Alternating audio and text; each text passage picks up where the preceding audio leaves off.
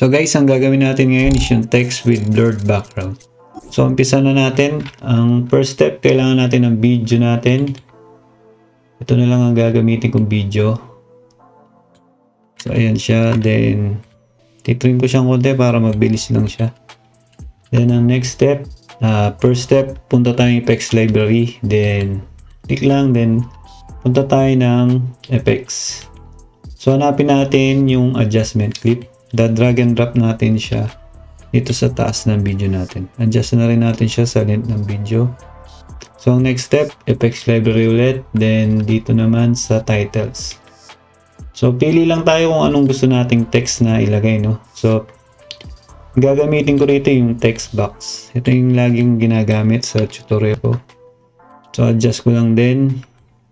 So, ang next step, sa adjustment clip, lalagyan natin siya ng effects. So, punta tayo ng effects library ulit. Then, dito sa effects.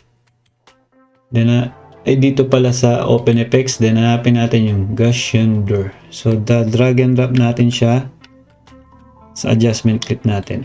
So, yung adjustment clip is may blur na yan. And blur na yung background natin. So, dito sa inspector, dito sa effects, dito natin makokontrol yung pagka-blurred ng background natin. So yan, okay na yan. Hindi siya ganong blurred. Then yung text, palitan lang natin. Yan na lang siguro sample text. Then play play ko siya.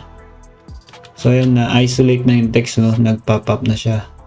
So kung gusto niyo nang hindi siya bigla magbe-blurred, pwede naman natin siyang i ito, click natin tong fade in, then fade out.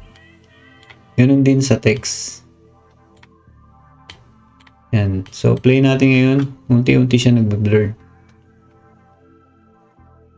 So, kung gusto natin mawala kagad, kasi text lang naman yan, i-select lang natin tong dalawa.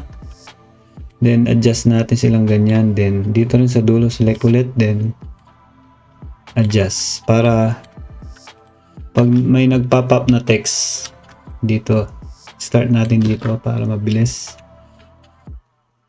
So ayun siya, nag-blur na yung background. Nag-isolate na yung text natin.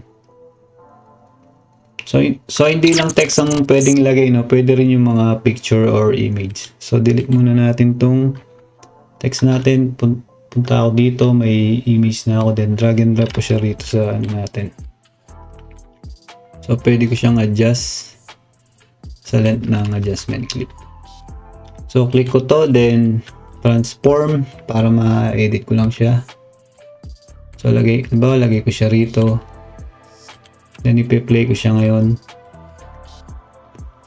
So ayan, na-isolate na siya kasi nag-blur na yung background. So yun, may text with background na tayo. So salamat guys, sana may natutunan kayo sa video na to at huwag kalimutan ni-like yung video at mag-subscribe sa channel. So, kita-kita tayo sa next video guys.